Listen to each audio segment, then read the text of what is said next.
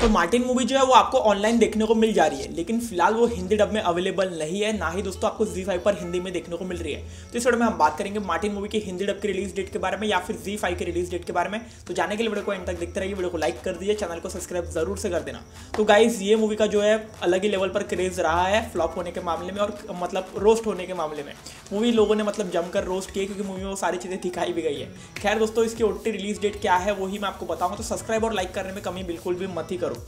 बात करें दोस्तों इस मूवी के प्लेटफॉर्म के बारे में तो मैं ये चीज़ आपको पहले ही बता चुका हूँ। मूवी के जो राइट्स है, सिर्फ़ और सिर्फ़ जी फाइव वालों ने एक्वायर की है तो हाँ जी फाइव के हाथ में फ़िलहाल राइट्स है। लेकिन जी फाइव दोस्तों एक ऐसा प्लेटफॉर्म है कि अपनी मूवी के जो राइट्स होते हैं, किसी और प्लेटफॉर्म को सोल्ड करने की कोशिश करता है। कई बार उन्होंने ऐसा किया है, दूसरे प्लेटफॉर्म को सोल्ड करने की ट्वेल्थ फ़िल्म मूवी को उन्होंने डिजनी प्लस हॉटस्टार को सोल्ड किया था।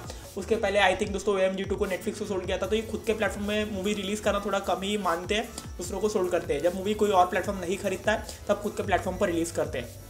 खैर खैर, बात करें दोस्तों मार्टिन के बारे में तो मार्टिन मूवी आपको याद होगा कि दोस्तों तेरह से पंद्रह नवंबर के बीच में ये आपको जुगाड़ू जगह पर देखने को मिल गई थी। उस टाइम पर ये मूवी काइंड ऑफ़ एक लीक हो गई थी या फिर दोस्तों आपको साउथ इंडियन लैंग्वेज में देखने को मिल गई थी। लेकिन हिंदी डब उस टाइम पर इसका नहीं आया था तो हिंदी का ही हम वेट कर रहे हैं। तो हिंदी डब की रिलीज़ डेट के बारे में बात करें तो वैसे तो मूवी को अब तक हिंदी में आ जाना चाहिए था, लेकिन दोस्तों अभी तक नहीं आई है। इस मूवी को लगभग छः दिसंबर सिक्स ऑफ़ दिसंबर को अराउंड दोस्तों रिलीज़ किया जा सकता है। हिंदी डब में ओ टी प्लेटफॉर्म पर जी फाइव के प्लेटफॉर्म पर तो हाँ इतना एक वीक का और हमें वेट करना पड़ेगा। क्या सोचते हो दोस्तों, मार्टिन के बारे में? आई एम श्योर आप में से बहुत लोग मूवी को देखने वाले हो। भले ही मूवी फ्लॉप रही क्यों ना हो, क्योंकि बहुत लोग देखते कि भाई ऐसा क्या ही दिखा दिया मूवी में, क्योंकि बहुत लोगों को मूवी के बारे में कुछ भी नहीं पता। है वह आप राय कमेंट में दे देना। वीडियो पसंद लाइक कर दो सब्सक्राइब कर दो चैनल को। मिलता है नेक्स्ट वीडियो में।